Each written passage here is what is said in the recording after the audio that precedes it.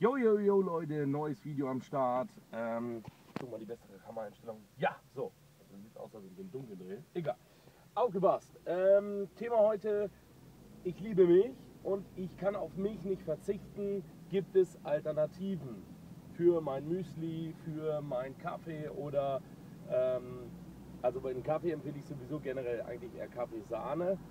Aber das hat den Hintergrund, weil Kaffeesahne oder Sahne allgemein mit Butter die beiden einzigen ähm, Milchprodukte sind, die den Körper nicht übersäuern. Normalerweise produziert der Körper extrem viel Säure, um Milchprodukte verstoffwechseln zu können.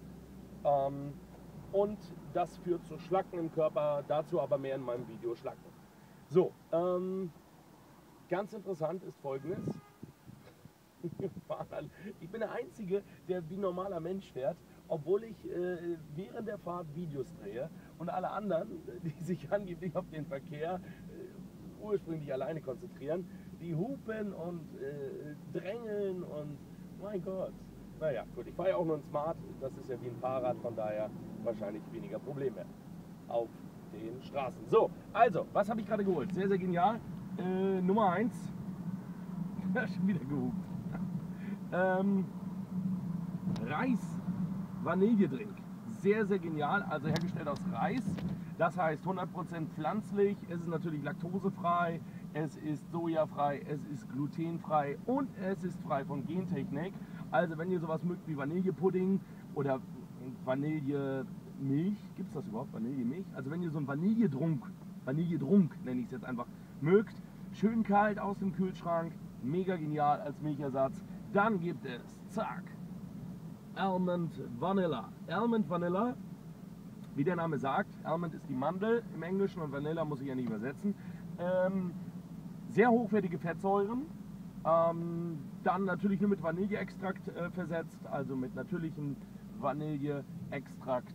Äh, ist natürlich auch wieder bio und ist äh, rein pflanzlich, klar, Mandeln und hat sehr hochwertige Fettsäuren. Hat, wer also mehr so auf dieses milde, Natursüße steht, greift hier zu. Und wer eher den nussigen Ton äh, bevorzugt, greift hier zu. Und dann, wer Kakao liebt, und wer Kakao liebt, so wie ich, ha, mega!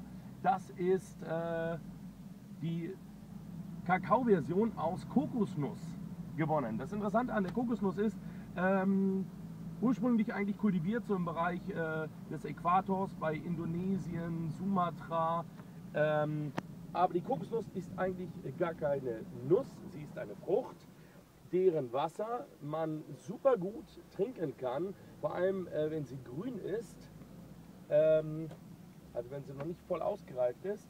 Und der Hintergrund der ganzen Geschichte ist, ist in den USA ein totaler Hit zurzeit. Also, äh, dort trinken das Filmstars enorm viel, also man nennt sich Kokosnusswasser, da ist jetzt natürlich noch ein bisschen Kakaopulver mit dabei, damit das richtig lecker nach Kakao schmeckt.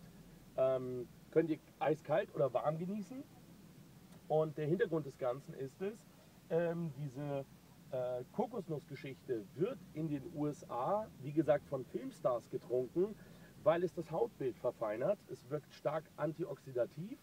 Es enthält sehr hohe Mengen an äh, Middle Chain Triglycerides, also mittelkettige Triglyceride. Das sind äh, MCTs, Fettsäuren, ganz interessant, ähm, die man auch als Pan-Spray kennt, also als Pfannenspray.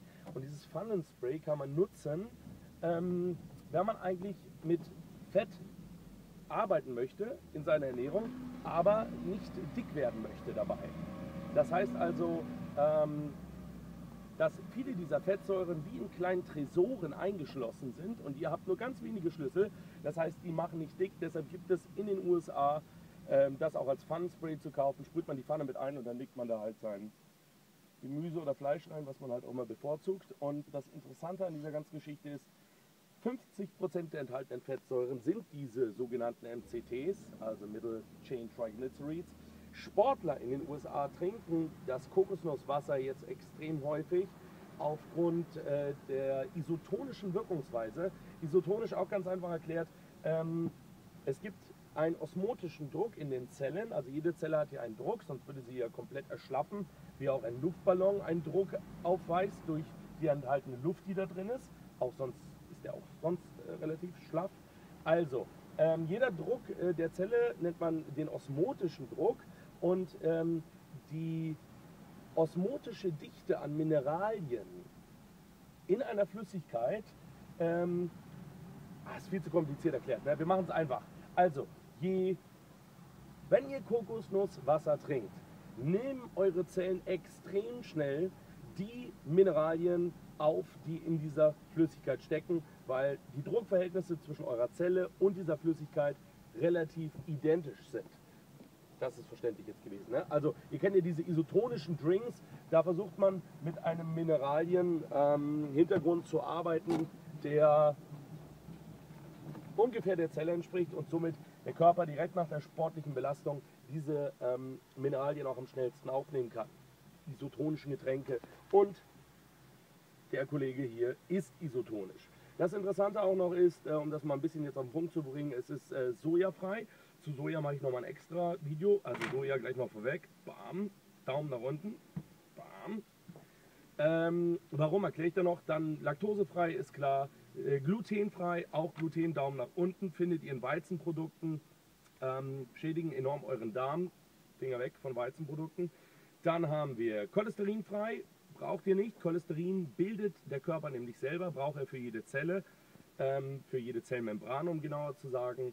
Äh, dann, was haben wir? Ähm, frei von unnatürlichen äh, äh, Aromastoffen, ich muss es hier gerade übersetzen, das ist nämlich im Englischen, dann äh, Farbstoffen natürlich sind auch nicht drin. Ähm, dann die natürliche Schönheit der frischen Kokosnuss, das habe ich jetzt bestimmt ein bisschen falsch übersetzt, aber also es, sie wollen damit äh, sagen, dass es dadurch, dass es rein pflanzlich ist, dadurch, dass es natürlich ist, dadurch, dass es äh, bioorganic ist und raw, ähm, habt ihr damit ein Produkt, was definitiv optimal ist, wenn ihr sagt, okay, ich kann auf Kakao nicht verzichten, ich möchte auf Kakao nicht verzichten und ihr müsst auf Kakao nicht verzichten.